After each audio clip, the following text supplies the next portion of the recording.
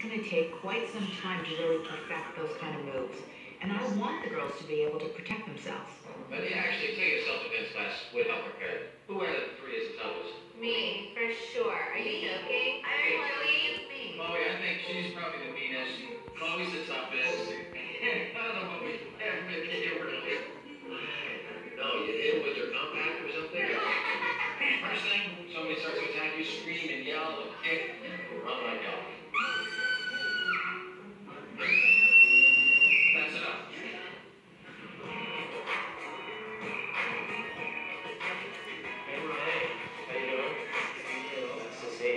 you. This is Dr. Bravo. Nice to see you. We'll taking some pictures of you today. He's an amazing photographer. I'm pretty nervous to do this photo shoot just because I have no idea what to expect. Are you ready? Yeah. Okay, cool. So we'll get you in your first outfit, Okay. and then we'll go ahead and start.